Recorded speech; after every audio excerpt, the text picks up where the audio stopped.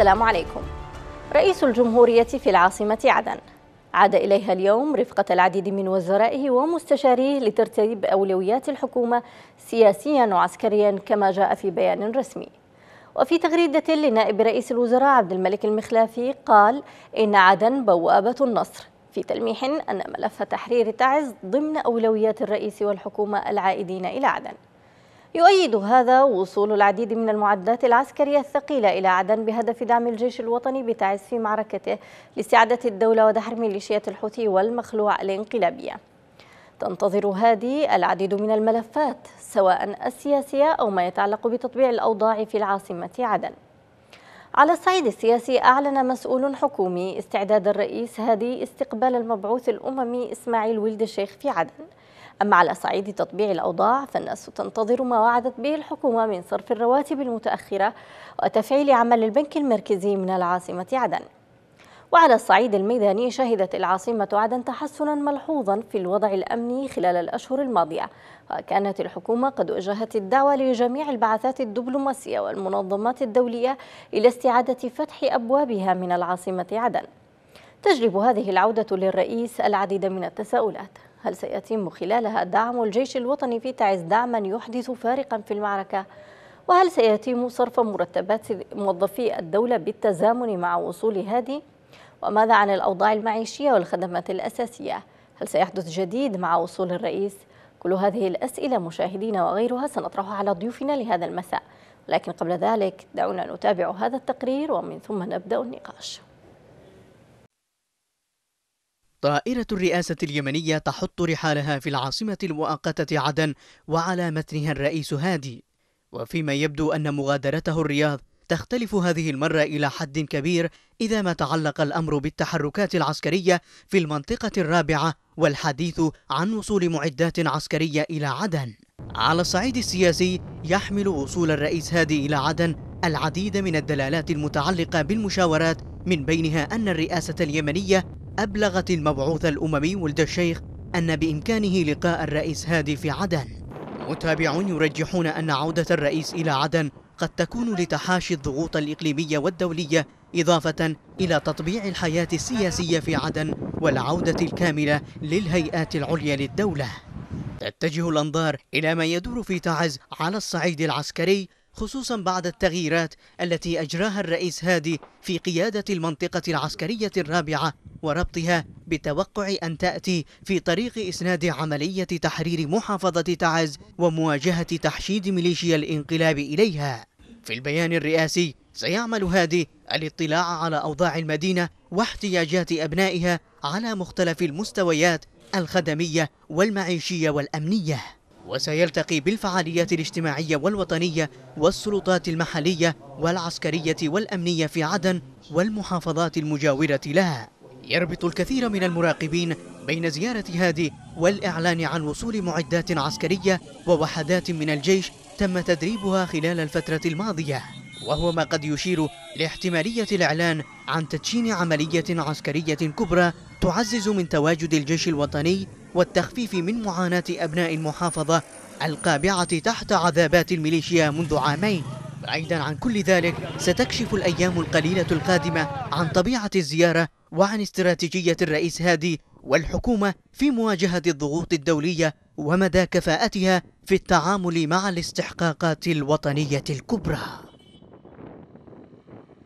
إذا مشاهدينا الكرام سنناقش هذه الحلقة مع ضيفي عبر سكايب الصحفي أنيس منصور من الرياض. كما سينضم معه آخرون عبر الهاتف بداية مساء الخير أستاذ أنيس. مساء النور عليك وعلى المشاهدين الكرام. أستاذ أنيس بداية ما الذي تقرأه آه، في من خلال عودة الرئيس هادي إلى عدن؟ آه، طبعا اولا آه، عودة الرئيس عبد الرب منصور هادي هي عودة مؤقتة ربما لمدة أسبوع إلى عشر أيام. ثم سيتجه بعد ذلك إلى الإمارات في دعوة لحضور فعالية هامه إماراتية. لكن من حيث التوقيت ومن حيث الاستعداد في ظل المتغيرات وفي ظل المستجدات السياسية التي تتلاحق سواء على المحلف السياسي في مشارة المشاورات والمداولات التي تدور سواء ظاهرة أو ما هو خلف الكواليس.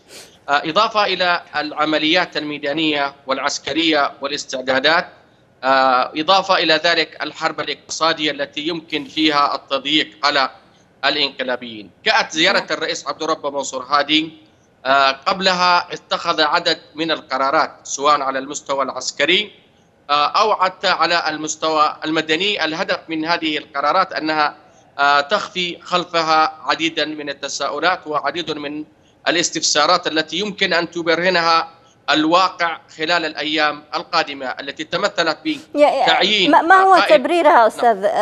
أنيس يعني من وجهة نظرك خاصه القرارات المدنية يعني آه، فيما تتعلق بوكلاء الوزارات آه، المحافظين وأيضا تغيير بعض الوزارات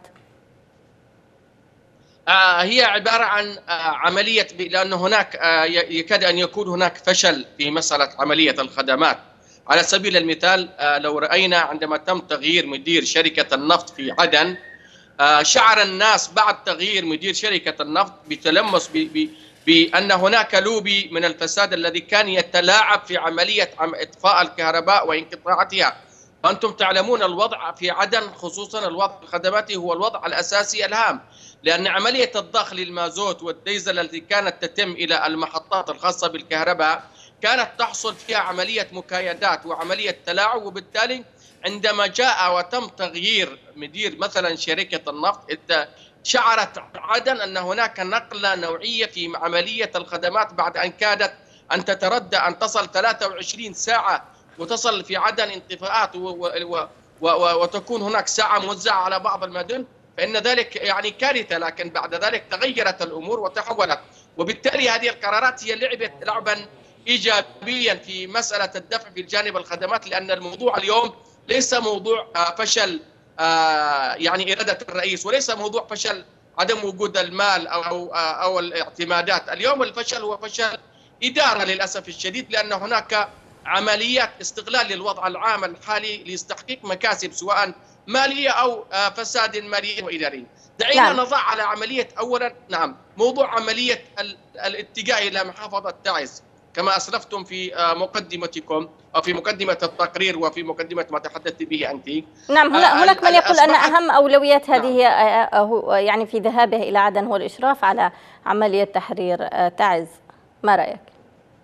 طبعا الرئيس عبد الرب منصور هادي للعلم وهي معلومة خاصة لكم أنتم في نعم. بلقيس تحديدا أفصح عنها هو استدعى ما يقارب 13 قائدا عسكريا هؤلاء القادة العسكريين هم الموجودين تحديدا على خط التماس مع محافظة تعز. آه، على سبيل المثال العميد آه، محمود آه، صايل هو قائد عسكري كبير جدا. العميد تركي الصبيحي عدد من القادة العسكريين تم استدعائهم. وعملية تدارس عملية انكماشية على محافظة تعز أن تكون هناك. تعزيز الجبهات الداخلية الموجودة داخل تعز وتعزيز الجبهات الخارجية الموجودة خارج تعز وهي في منطقة كرش. وفي المضاربة وفي كهبوب وفي أطراف الوازعية وفي آه، حيفان وما تسمى بمنطقة الأحكوم. نعم. هذه العملية تم استدعاء القادة العسكريين والتدارس في عملية هل ممكن أن يتم ذلك أن يكون هناك نوعان؟ هل أن تكون عملية تحرير تعز بانخلال إمداد مدينة تعز بالسلاح الثقيل؟ لأن اليوم تعز لا تحتاج إلى رجال ولكن تحتاج إلى سلاح ثقيل كل ما هو آه، عملية الحرب القائمة تحديدا والانتصارات التي تتم تتم بأسلحة خفيفة ومتوسطة لا وجود للسلاح الثقيل لو وجد سلاحا ثقيلا مثل الدبابات والمصفقات والمدرعات والمدفعية وغيرها بيد المقاومة والجيش الوطني في تعز ستكون تعز قد خطت خطوة كبيرة جدا. هناك الخيار كان خيارين. هل يتم آه، آه، تحرير تعز من خلال خطة عسكرية داخل مدينة تعز من خلال إمدادها بالسلاح والعتاد والخبرات العسكرية التي يمكن أن تحقق انتصار وتفك أولا المرحلة الأولى عملية تفك الحصار ابتداء من محافظة أو من منطقة الحوبان وما وصولا إلى منطقة القاعدة أو أن هناك آه، عملية أخرى وهي العملية التي تكون على أطراف تعز. خصوصا وأن الجبهات التي أطراف تعز اليوم ليست جبهات هجومية تحولت إلى جبهات دفاعية. هي عبارة عن عمليات تتم فيها التصدي لهجمات من قبل الانقلابيين لكن العملية القتالية الموجودة داخل تعز اليوم تحولت من دفاعية إلى هجومية وبالتالي فإن الخيار الآخر هو الخيار الموجود أمام الرئيس عبد رب منصور هادي تحديدا وأمام القادة العسكريين الذي تم آه، اختيارهم على جانب وطني وعلى خيار قوي جدا. وهذه الذي ممكن أن يمكن دراستها وقراءتها من خلال العملية العسكرية الهامة آه، التي ستكون خلال المرحلة القادمة. نتمنى أن يكون ذلك حقيقة لأن اليوم حتى عندما نتحدث بهذه اللغة نجد عبارات اللوم وعبارات القلب من قبل كثير من من الناشطاء في مدينة تعز يقولون سبق وإن تكرر هذا الحديث أن هناك سيكون انتصار سيكون هناك دعما سيكون سيكون. لكن لم نجد من ذلك نعم. شيئا وأنا طيب أتمنى أن تكون ذلك يعني حقيقة. هناك أحاديث عن وصول معدات ثقيلة إلى معسكر التحالف في عدن حيث يعني أنه سيتم إرسالها إلى الجيش الوطني في تعز ما مدى صحة مثل هذه الأحاديث؟ طبعا بالنسبة للحديث أنا أقول لك أن المعدات والآليات العسكرية التي وصلت هي خاصة بالحماية الرئاسية يعني لا. نعم. هي تم تبع الحماية الرئاسية الموجودة في رئاسة الجمهورية لأن هناك آه، لواءين تم تشكيلهم حديثا تبع الحماية الرئاسية الموجودة في آه، عدن. لكن هل هذه الألوية ستشارك أو ستدفع أو ستدعم في عملية السلاح الثقيل وستتجه بها إلى تعز هذا لا أدري. أنا آه، يعني أنا كمعلومة مقربة من رئاسة الجمهورية لا أدري ما هي التكتيك العسكري خصوصا وأن العملية العسكرية بحاجة إلى عملية ما تسمى بعنصر المفاجأة قبل عملية الإعداد أو الحديث عن ما تسمى بالأسرار العسكرية. آه، إذا أستاذ أنيس يعني آه، هناك من آه، يعني يقلل من شأن زيارة الرئيس هذه ويقول بأنه جاء فقط لإشراف على صرف عملية الرواتب. ويعني كان لدينا حديث اليوم مع السيد فتحي بالأزرق في برنامج برنامج الزميل بشير الذي قدمه اليوم. يعني يتحدث معه بأن زيارة هذه فقط لصرف الرواتب. آه للأسف الشديد آه هناك كثير من الأصوات وكثير من الأقلام وكثير من آه ال ال ال ال الوسائل التي دأبت على استهداف الشرعية استهدافا آه سيئا واستغلال مثل هذه التحركات استغلالا سيئا لا تصب لمصلحة الشرعية ولا لمصلحة التعز. عملية صرف الرواتب وعملية تشكيل اللجان هي جزئية هامة من الجزئيات التي أتت لكن ليست هدفا رئيسيا للرئيس عبد الرب منصور هادي الرئيس عبد الرب منصور هادي شكل خلال اليومين الماضيين لجنتين اللجنة الأولى لجنة بشان الطلاب الموجودين والذين يشكون من عدم صرف مستحقاتهم في عدد من الدول العربية والأجنبية. واللجنة الثانية هي بشان عملية صرف الرواتب للمقاومة والملفات الهامة وكلف بذلك وزير الشباب والرياضة نايف آه نايف آه البكري تحديدا. هذه المهمة هي الذي كلف بها وليست الرئيس شخصيا هو التي الرئيس هو فقط من أشرف على ذلك. الرئيس لديه ملفات أخرى يمكن أن يشارك في عملية خروج أو آآ آآ يعني عدد من الدفاعات العسكرية التي تم تدريبها خلال الفترة الماضية سيكون الرئيس مشرفا على عملية خروج هذه الدفاعات التي يمكن أن توزع على عدد نعم. من الجبهات. اذا اسمح لنا أستاذ آه. أنيس أن ينضم معنا أيضا عبر الهاتف السيد نجيب غلاب رئيس مركز الجزيرة العربية للدراسات مساء الخير أستاذ نجيب. يا مساء النور والعافية وللأخ أنيس هذا البطل المناضل الكبير. أهلا أهلا بك.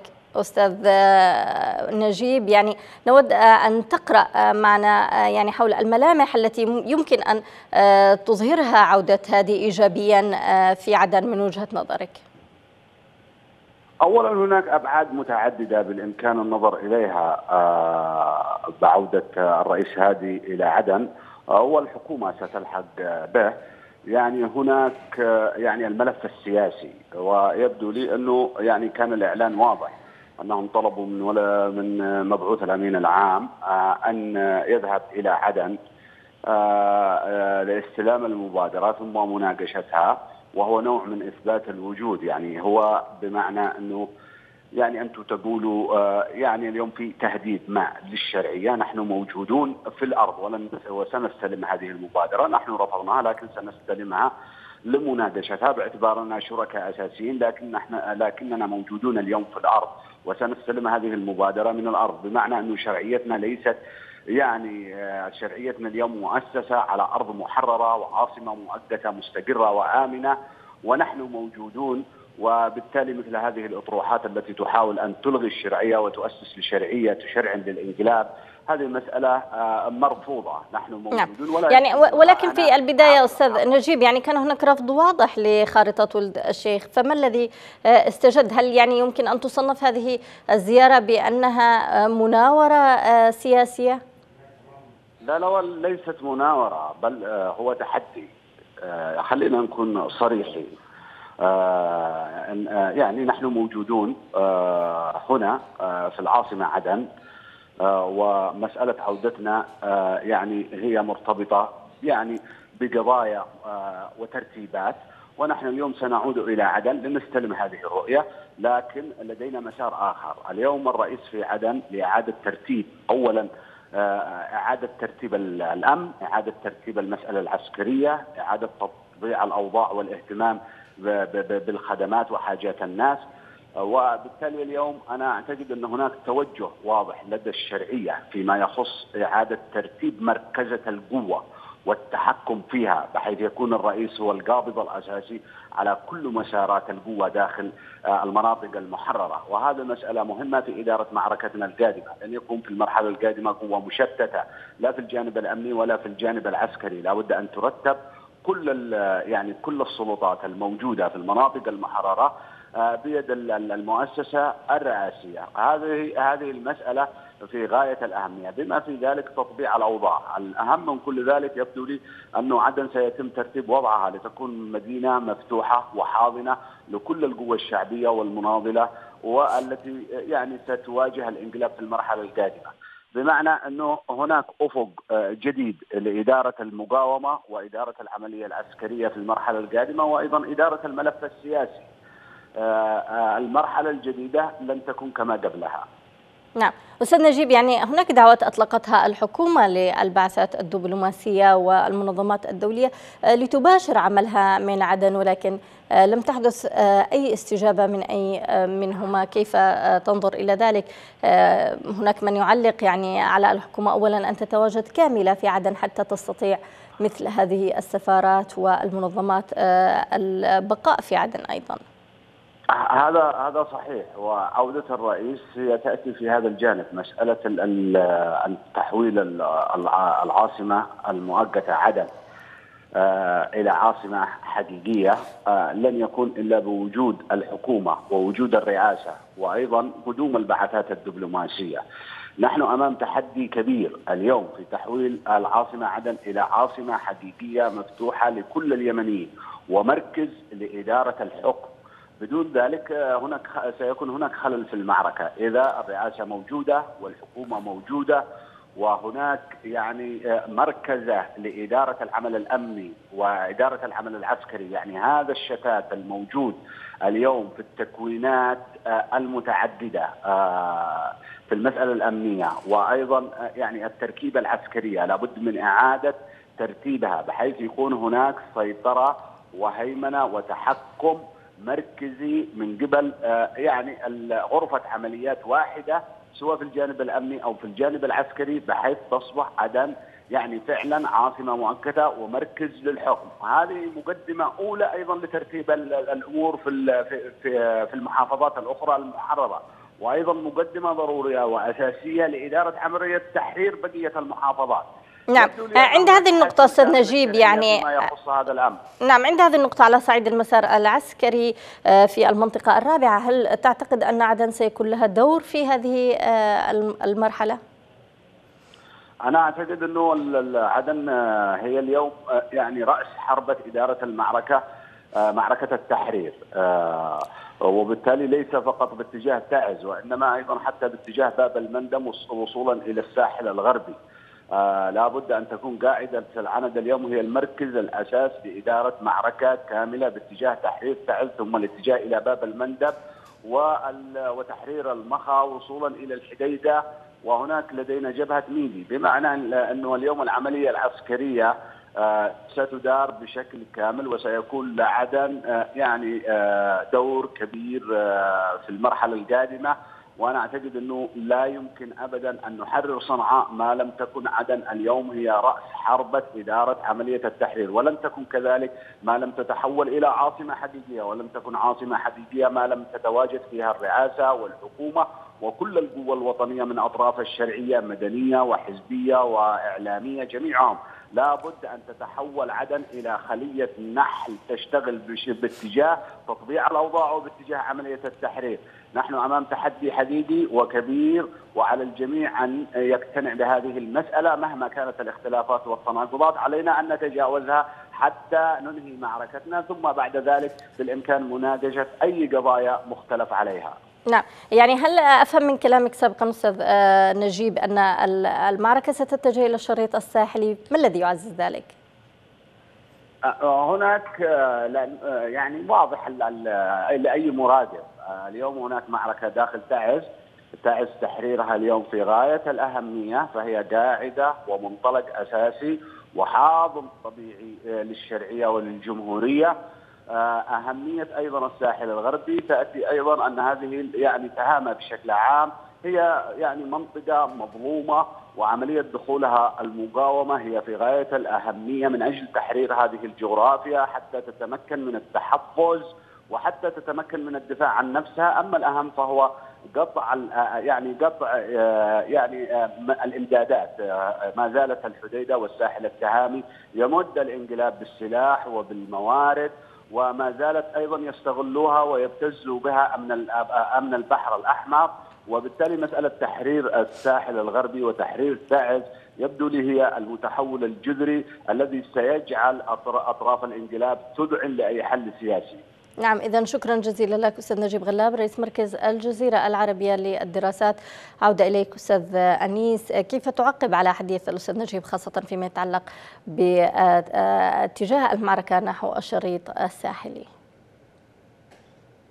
طبعا بالنسبة للمعركة دعيني أيضا أضعك على نقطة مهمة جدا وهي أنه لابد من تحرير بقية المناطق حتى يتم الإعلان عن الأقاليم. وربما أن زيارة الرئيس إلى عدن سيتم فيها وهذه أيضا معلومة أيضا لكم سيتم فيها خيارين. إما سيتم فيها نقاش عملية اتفاق بشأن إعلان عن إقليم عدن أو أو أن يتم عملية إشهار وإعلان الإقليم عدن برئاسة نقل الرئيس الراحل سالمين أحمد سالم ربيع.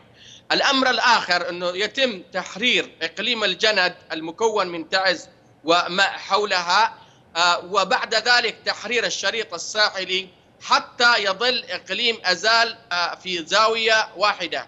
وهذه الزاوية هي زاوية خيار. سيكون سيكون هناك إعلان عن إقليم. أزال لكن, أزال لكن سيكون إعلان شكليا وليس إعلانا على مساحة من الأرض. فبعد ذلك سيظل إقليم أزال في عملية وضعه في حجر الزاوية. إما أن يتم آه، آه، إما أن يخضع لعملية العمل السياسي بإعلان الأقليم لأن كل المعركة التي دارت منذ أول يوم أن أصحاب أزال أو أن آه، هؤلاء الجماعة الإنقلابيين لا يريدون أن يكونون إقليما إنما يريدوا عملية السيطرة والهيمنة ضمن نظام ولاية البطرين أو ما تسمى أستاذ أنيس يعني على ماذا تستند في كلامك هذا هل هذا هو التوجه الشرعية في اللحظة الراهنة؟ نعم هذا هو توجه الشرعية في اللحظة الراهنة وقد تم الإعلان عن إقليم سبأ وتم الإعلان عن إقليم تهامة وتم الإعلان عن آه، التحضيرات لإقليم حضرموت وتمت آه، بعض عملية الاستعدادات وبدأت عملية استعداء أو استدعاء أو استدعاء عدد من القيادات الموجودة. وكانت القرارات الأخيرة حتى العسكرية على مستوى حضرموت تدعم هذا الاتجاه إضافة إلى ذلك أن آه، هذا العمل هو عملا كانت تتم. لولا أن آه، مبادرة ولد الشيخ هي التي خلطت الأوراق. أنا كنت قريبا من رئاسة الجمهورية وكانت عملية الاستعدادات والتحضيرات والتوجهات ولقاء الرئيس بمستشاريه وبعدد من القيادات تصب في هذا الاتجاه بعد ذلك دخلت عملية مبادرة ولد الشيخ فخلطت الأوراق وتم بعد ذلك توجيه العمل السياسي والإعلامي والدبلوماسي في مسألة مواجهة هذه المبادرة التي هي عملية التفاف جديد على مشروع الدولة أو مشروع الشرعية خرجنا نعم. من مبادرة آه، ولد الشيخ انصدمنا بتصريحات تحركات جون كيري التي كانت في مسقط وبعد ذلك بعثرت هذه الأوراق. فبعد ذلك في اللحظات في الجلسة الأخيرة التي جمعت الرئيس ونائب الرئيس والمستشارين وعدد من الوزراء أو رئيس الوزراء تم الاتفاق على أنه لابد من المضي في عملية تدشين الأقاليم، المناطق التي تم تحريرها سيتم إعلانها مباشرة وقد تم إعلان بعضها، والمناطق التي لم تعلن بها يتم تحريرها مثل إقليم الجند الذي لا زال واقليم تهامة بعض المناطق تهامة حتى يتم الحصار ووضع إقليم أزال زاويه ضيقة أمام خيارات متعددة لفرض الأمر الواقع لأن اليوم الذي حاصل أن هناك ضغطا دوليا لابد أن نكون واضحين نعم. لابد أن نتحدث للرأي العام أن هناك ضغوطا دولية على الرئيس عبد الرب منصور هادي هناك ضغوط دولية على الشرعية عند عند هذه الضغوط أستاذ أنيس يعني أستكملها معك إذا تكرمت. دعني أنت والسادة المشاهدين أن نذهب لهذا الفاصل القصير ثم نعود لاستكمال هذه النقطة.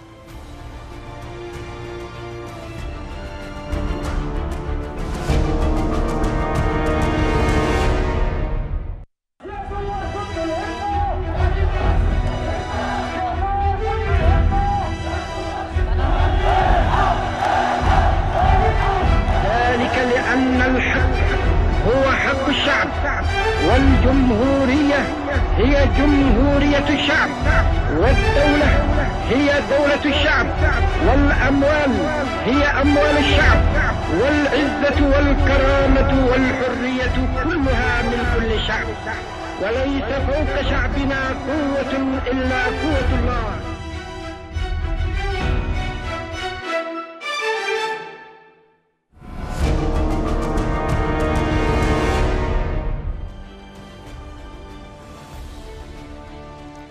أهلا بكم من جديد مشاهدينا الكرام مرحبا بك مرة أخرى أستاذ أنيس.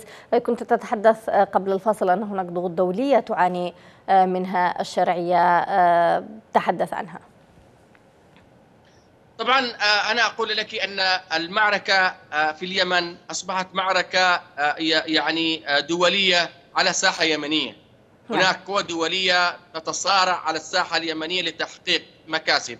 هذه المكاسب ضمن صراعا دوليا ضمن آه تقديم آه أو التزامات أمريكية لإيران آه وما تحركات جون كيري ومبادرة ولد الشيخ وعملية اجتماع الرباعيه وعملية الضغط من حين إلى آخر التحويل الانقلابيين إلى شركاء من خلال تقديم كثير من التنازلات من الشرعية ورفض الرئيس عبد الرب منصور هادي.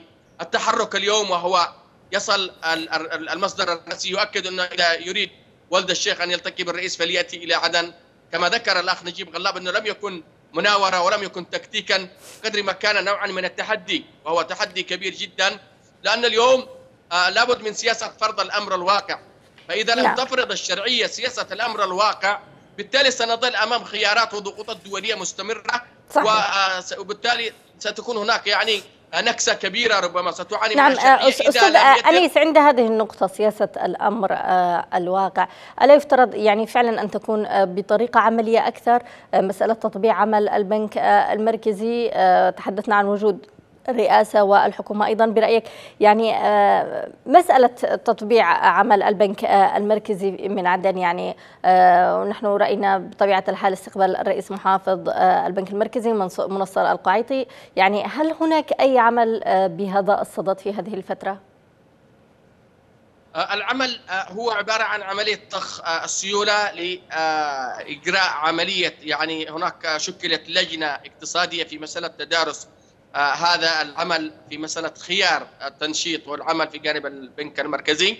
آه بدأت عملية الضخ المالي للبنك من خلال آه هذه اللجنة. ربما يكون هناك يعني تحرك في هذا الاتجاه ضمن الحرب الاقتصادية التي من ضمنها نقل إيرادات كثير من الموارد في التي كانت تذهب إلى الانقلابيين. أن يتم توريدها إلى هذا البنك المركزي. هناك يعني أيضا برنامج خاص وهو يتم فيه نقل دوليا التعامل مباشرة مع البنك المركزي في عدن يسمى السويف وهو برنامج اقتصادي. أنا لا أفهم كثير جدا في هذا الاتجاه لكن حسب ما علمت وعلمت أنه هذا البرنامج هو البرنامج الذي يمكن أن يتم فيه عبره التعامل أيضا مباشرة. وهذه كانت ضربه قاضيه أيضا عندما تم نقل هذا البرنامج من من من صنعاء إلى عدن. من خلال التعامل الدولي عبره. سننظر ماذا سيكون خيارات وماذا ستكون هذه التحركات القادمة في هذا الاتجاه. نعم. أستاذ يعني هناك تدهور كبير في الخدمات الأساسية الكهرباء الصرف الصحي الماء أيضا. متى يمكن أن يلمس المواطن تحسن ولو على المدى القريب خاصة يعني ويستشعر وجود الحكومة من خلال الخدمات؟ يعني في نهاية الأمر المواطن البسيط لا يريد وزيرا هنا أو هناك ويريد خدمة يلمسها في على أرض الواقع. سؤال جميل. صراحة حقيقه يعني المأساة أكبر من أن تتصور. وأنا شاهدت تقارير كثيرة جدا من قناة بلقيس تقارير واقعية جدا وكثير من القنوات تدمي القلوب لحال الوضع البائس في مدينة عدن من حيث الخدمات، عدن لا تريد إلا أن تكون هناك خدمات، تريد أن تؤمن خدماتها كتأمين يعني إنساني لجميع للناس جميعا. أعتقد أن نحن أتينا أو جاءت بعد حرب ونعرف ماذا ماذا تعني كلمة الحرب وماذا خلفته الحرب. لكن بالمقابل لا ننكر أن هناك سوء إدارة. هناك سوء إدارة في عملية التعامل في مسألة عملية تأمين الخدمات في عدن. هناك أوراق يتم اللعب بها كثير جدا لأنه يشعر الناس من أين سينتفض أبناء عدن. فيقومون بعملية التضييق أو عملية محاصرة الجانب الخدماتي. من من الذي يقوم بذلك أستاذ أنيس؟ يعني مسؤولية فشل الإدارة. أنا أقول لك ما زالت يعني تصوري أنت ما زالت أجندة عفاش تلعب بشكل كبير جدا داخل عدن. ما زالت الخلايا الموجودة بتصريح مدير الأمن ومحافظ المحافظة وعدد من وكلاء الإدارة أنه ما زال هناك كثير من اللاعبين الذين يلعبون إلى داخل عدن إذا كانت مارب التي تم تأمينها تأمينا كاملا يتم كل يوم الكشف عن عبوة ناسفة أو عن يعني عمليات خلط أو أو كذا. كل الفوضى التي تحصل في عدن لن يستفيد منها أحد بما فيها تردي الخدمات إلا الإنقلابيين الذين يريدون أن يصوروا للرأي العام أن انظروا أين ما كيف حال المناطق المحررة. طيب يعني ألا يضع الحكومة هذا في تحد واضح بقصقصة أجنحة يعني المخلوع يعني حتى لا يصبح شماعة لكل الأخطاء التي تحدث. لا يمكن يعني منذ أن استلم الرئيس هذه السلطة في 2012 ونحن نتحدث عن عفاش الذي يعني ما زالت أيدي موجودة في المؤسسات الدولة. يعني ألم يستوعب يستوعب بعد من هم هؤلاء الأشخاص حتى يتم تبديلهم وتغييرهم؟ عزيزتي المسألة في محافظة عدن هي مسألة أنه من التعامل لم يكن تعامل وطنيا. مدينة عدن قبل أن تأتي بالخدمات وقبل أن تأتي تأمينها لابد أن يكون هناك مشروعا وطنيا. عزيزتي دعيني أكون واضحا أنا تربية عدن وابن عدن. عدن هذه الآن مقسمة إلى مربعات. كما ذكر الأخ آه نجيب غلاب سابقا أنه يريد عبد ربه منصور هادي أن يلم الشمل الأمني والعسكري داخل مربع عدن ليكون هناك هو المشرف الأساسي. تصوري أنت في مدينة عدن توجد كتيبة فلان وسجن أبو علان ومقسمة مربعات. هذه المربعات كل مربع لديه خلفية مناطقية. نشاهد اليوم الانتهاكات التي تمارس في حق البسطاء. واحد يعذبوه حتى الموت. والآخر يعذبوه حتى يرموه يظنوا أنه قد مات. هذه مؤسسات أمنية محسوبة على الأمن لكن للأسف الشديد نتشاهد أن هناك عملية صراعا مناطقيا كبير جدا. عملية التعامل مع كل من هو يحمل الهوية من أبناء المحافظات الشمالية. كانت عملية خاطئة كبيرة جدا وكأنه يريدوا أن يصوروا على أن الشمال هو العدو لنا. هذه لكن عندما يكون هناك مشروعا وطنيا يجمع الجميع ويستظل تحته الجميع. سيتم القضاء على هذه الظواهر وعلى هذه الصراعات وعلى هذه الفجوات التي يتغلغل منها خلايا متعددة من عن طريقها. لكن عندما هناك نتحدث عن مشروعا وطنيا يمنيا وعن تحديات أولوية وهي الانقلابيين قبل أن نقوم بفتح ثغرات تساعد الانقلابيين من المستفيد عما يحصل من عدن ونحن نقوم بفرز الناس بالبطاقة الهوية؟ من المستفيد؟ أليس الانقلابيين الذين يتحدثون ويستفيدون وينسجون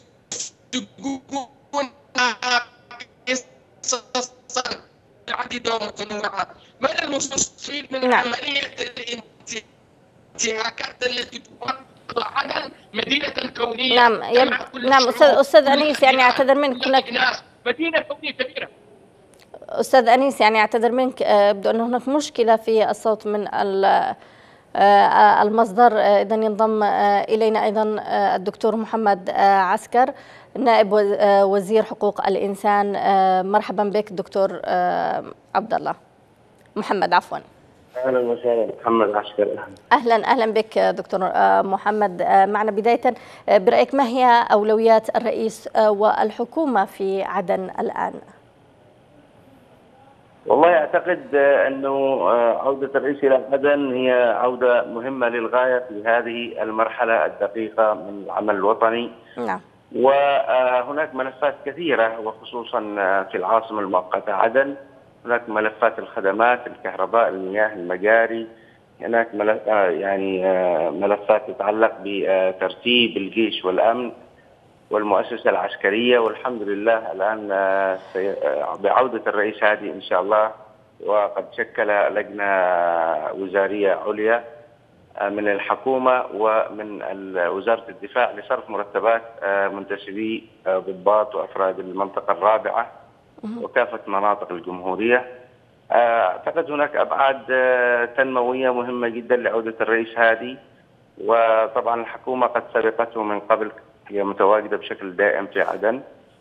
آه كما أن لها أبعاد سياسية آه أيضا نعم كبيرة يعني نعم ما هي هذه الأبعاد يعني تحدث معنا الدكتور نجيب غلاب بأن هناك تحدي ربما للوضع وبأن الحكومة هي موجودة على الأرض وهي رسالة ربما لمن يريد أن يلتف على القرارات أو المرجعيات الثلاث هل تتفق مع هذا الطرح؟